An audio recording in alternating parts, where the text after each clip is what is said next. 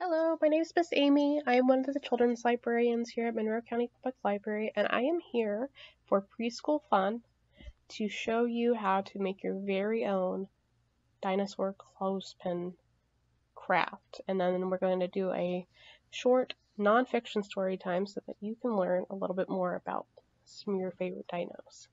So we're going to pop on over and we're going to do the craft together.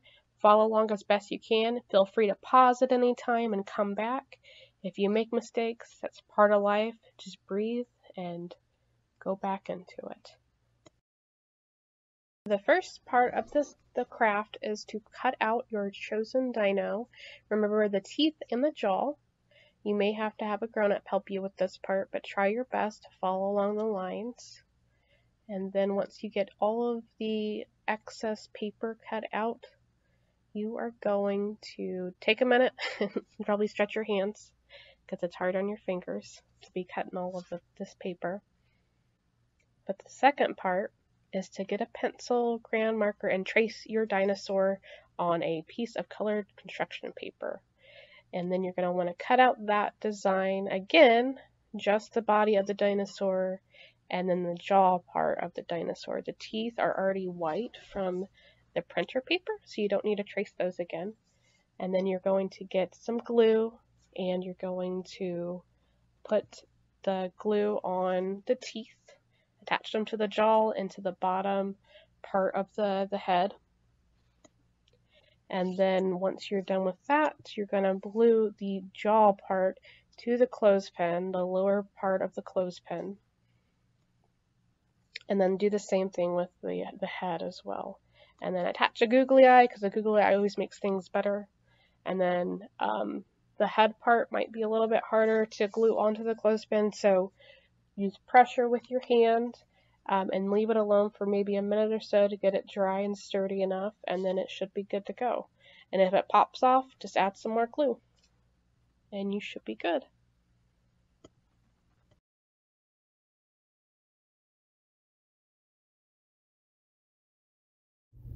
A Book of Infographics Dinosaurs by the Numbers by Steve Jenkins. Dinosaurs ruled the earth for more than 150 million years. Some were small and speedy and covered with feathers.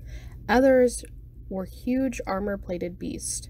They were fierce predators with terrifying teeth and claws. A gigantic plant eating dinosaur was the largest animal to ever live on land. These amazing animals lived all over the world. Then, about 66 million years ago, almost all of them vanished.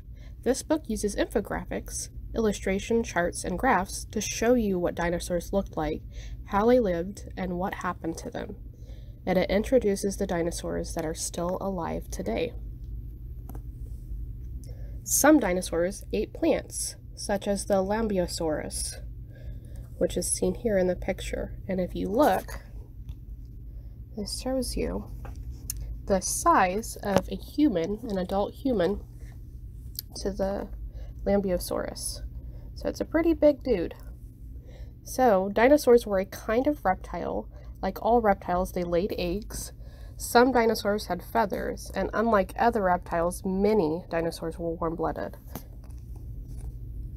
And some ate other dinosaurs. Ooh. So this guy over here is called Allosaurus. So he is very similar to a T-Rex. So he's the type of T-Rex that you see in movies or pictures that have the horns uh, by the eyes. So that's what an Allosaurus is. The first reptiles lived about 310 million years ago, and dinosaurs appeared 235 million years ago. Most dinosaurs went extinct 66 million years ago, but one kind of dinosaur survived. Can you guess from this page what dinosaur survived? A bird! Living dinosaurs. Scientists tell us that birds are actually a group of dinosaurs. They survived the mass extinction that happened 66 million years ago. So this gal over here is called a Caudip, Caudipteryx. Caudipteryx. And uh, she was feathered, uh, that lived 125 million years ago. Its skeleton looks like a, a lot like a modern bird. So from this skeleton picture, can you find where the beak is? Where is the beak? Right there. And from the skeleton, could you find where the wings are? This one's a little bit trickier. Right here. So you can see right here, kind of where I'm trying to highlight it. It's little chicken wings. So it is actually a very small dinosaur. So if you see the little images below the page or on the bottom of the page, uh, the Caudipteryx was actually a little bit bigger than a pigeon, but not by much. Um, so that doesn't mean he wasn't um, Speedy Gonzales. They were pretty fast, actually. Birds evolved from predatory dinosaurs that could walk upright, such as the Coelophysius. Coelophysius. Sorry, I'm trying to learn the correct pronunciation of each of these dinosaurs, so they do not make it easy. Um, it lived over 200 million years ago. The Archaeopteryx, which is the middle one that you see here, a feathered dinosaur, was one of the first birds. It lived 150 million years ago. Today, there are some uh, 10,000 species of birds or living dinosaurs, so that's pretty crazy to think about. How big were dinosaurs? So this is kind of representing some of the animals that we live with today, such as the, can you find the great white shark on the page? Or the grizzly bear? So these are pretty big animals, and these are showing you how big they are um, in comparison to something like the Triceratops or the, let's see, I'm going to try to pronounce this one. Um, the Paria, the Parasaurolophus. The para, Parasaurolophus. I cannot do this. but this is the guy that I'm trying to talk about. So he is a, um, a herbivore, I believe. And then there's the Ankylosaurus, the Triceratops, the T-Rex, the um, Therizinosaurus, which is the another herbivore, which is surprising because of the big claws that you see there. So it was, it, um, was a dinosaur that ate plants mostly. So the grizzly bear, which is a pretty big mammal, you can see in comparison. It looks like the T-Rex could probably eat those pretty, pretty easily. And then on the next page, you can see part of the whale, the very bottom, in um, comparison to the largest ever um, found uh, creature on Earth, which is the Patagon Patago Titan dinosaur. So that is um, what like one of the long necks, I guess you would call them. But this gives us some other um, comparisons to like a giraffe, which is a modern-day animal, and saltwater crocodile, the African elephant, something called the Spino Spinosaurus, which is um, looks pretty big compared to, if we go back one page, to the T-Rex. So it's another carnivore. But this was just neat to kind of take a look to see how big something was. Um, these dinosaurs are pretty massive. How fast were dinosaurs? So they had had different speeds. Um, this is the estimated speed in miles per hour. So imagine your car going this fast or you're driving this fast. So the fastest one that we've discovered so far um, would be the Oviraptor, um, which is the very top one right here. And they um, were thought to have feathers, like a bird. Um, and they uh, ran up to 40 miles per hour, so pretty fast, faster than a human for sure. And then the Velociraptor, which is 25 miles an hour. And the, the Allosaurus, which is the T-Rex with the horns, the two horns above the eyes. So he ran 18 miles an hour, which was definitely faster than humans. Um, and then scientists estimate the speed of a dinosaur by comparing their fossils to modern day animals.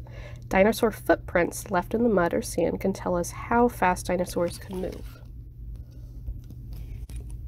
Dinosaur fossils. Most fossils preserve the bones or other hard parts of the animals. Sometimes the footprints an animal made in sand or mud also become fossils. Scientists learn about what dinosaurs ate by studying coprolites, fossilized dinosaur poop. So this is the process of how a fossil is actually formed. So dinosaur dies. A flood buries a dinosaur with mud, or a volcano covers it in ash. And then the bottom here. Minerals in the earth slowly churn the bones to stone. And then millions of years later, erosion uncovers the fossilized dinosaur bones.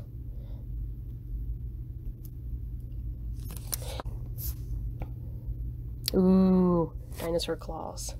These are pretty cool. So, I'm going to try to read what these claws are from. The next page shows you the dinosaurs that match up with it. So, um, the first one, this claw, the big one right here, is from the Megaraptor. Um, the next one is from the Deinonychus, um, which means terrible claw, actually. And that's the curved brown orange one right here. Looks like a pretty sharp, mean, deadly. Kind of looks like a little cat claw, except probably just a little bit bigger. The next one, um, right here, the third one, is from the Allosaurus. So remember, that's the T-Rex look-alike dinosaur that has the horns by the eyes. And then the next one is a um, saber-toothed tiger. And then this one, this gigantic one that um, spans both pages, you can only see part of it right now. That is from the Therizinosaurus, which is actually a herbivore. So they use these to, to grab onto plants. So this shows you the animals that they matched up with on the other page here. So the Therizinosaurus, um, right here, had the longest claws of any animal that ever lived. It probably used its claws for defense and to pull tree branches into its mouth. But it, it was a, a very uh, large creature as well and it, um, these different colors represent carnivores, herbivores, and modern day carnivores. So we have one, two, three meat eaters, one modern day um, carnivore, and one herbivore. Dinosaur skulls. So this is another cool one. So again, this is another page where it spans two different um, images. So if I continue from one page to the other, it matches up. So the first skull, the small one, is called the Velociraptor. You've heard of that one. It's a very popular dinosaur. The next one's the human skull. So they're not too far off. Um, the Velociraptor is actually smaller than what you realize. It's, I think it's one of the smaller ones. Um, but in comparison to the human, it's pretty similar. And then we have the Diplodocus, which is the thing that has the little hump right here. And then we have the, uh, right here, looks like a, an a crocodile. And then the uh, Periocephalorus is this um, gentle giant right here. So they have this really long kind of horn um, feature poking out of their head. And then this very terrifying looking one with the sharp teeth is the Spinosaurus. So they're um, part, they're, they're in the family, they're a relative, I believe, of the, the T-Rex. But I'm not 100% on that. And then this one is pretty common. Um, most people know this one is the Triceratops. So to go back to that page, the Triceratops skull alone is seven feet wide. Um, well, from nose, tip of your nose, to the back of the head. So imagine it being seven feet. it's a very big head. king of dinosaurs. So this one's a favorite. The Tyrannosaurus rex is sometimes called a T-Rex. It lived 66 million years ago and is probably the best known dinosaur. The largest and most complete T-Rex fossil skeleton was discovered in 1990. It was named Sue after the scientist who found it. The T-Rex's uh, long, heavy tail helped balance its huge head because it it look it's a funny looking design. Um, you'd think it would tip over, but the tail helps it balance, kind of like a cat. T-Rex could probably run faster than the average human.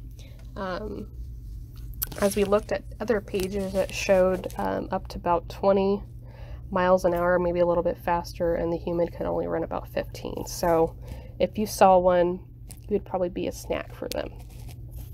The T-Rex could swallow 500 pounds of meat in one gulp. So three three humans and one gulp. So it was a pretty big um, pretty big creature. T-Rex fossils have been found in western United States and Canada. And the T-Rex may have been have used its tiny arms, little arms, to grasp its prey. The T-Rex's huge mouth, sharp teeth, and powerful bite made it a top predator of its time the biggest dinosaur of all. So we talked a little bit about this. It's called the Pata, sorry, Patagotitan dinosaur. Um, there may have been larger dinosaurs, but we just haven't found their fossils yet to be sure.